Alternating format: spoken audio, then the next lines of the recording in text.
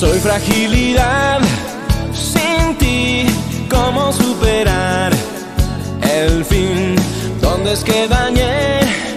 No sé. Y el recuperar se fue. Ni yo somos culpables.